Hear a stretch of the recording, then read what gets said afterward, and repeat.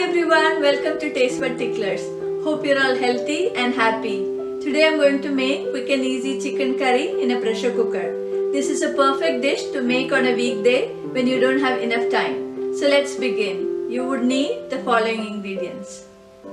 1 large onion finely chopped, 2 medium tomatoes finely chopped, 3 teaspoon ginger garlic green chili paste, half teaspoon turmeric powder, 3 teaspoon chili powder, 2 teaspoon coriander powder, 2 cinnamon sticks, 3 cardamoms, few cloves, half teaspoon crushed peppercorns, half teaspoon cumin seeds, half teaspoon fennel seeds, small piece of kalpasi, half teaspoon garam masala powder, 3 tablespoon yogurt, few mint leaves, 2 to 3 teaspoon cilantro, 3 teaspoon oil, salt to taste and 2 pounds chicken.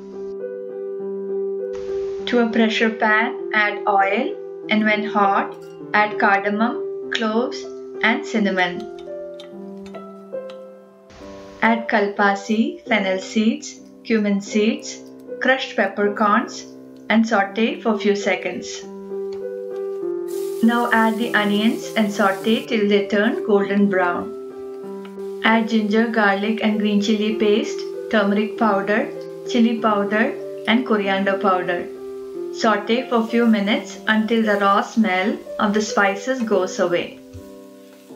Add the tomatoes, salt, cilantro and mint leaves.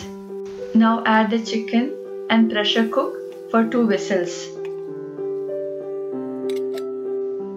After 2 whistles, the chicken is perfectly cooked. Turn on the flame and bring the curry to a boil.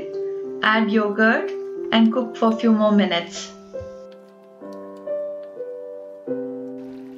Sprinkle more cilantro and add the garam masala powder.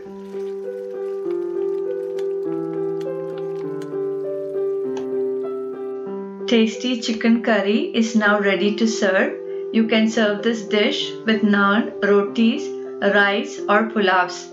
Do try this at home and if you like it, please click subscribe and the like button.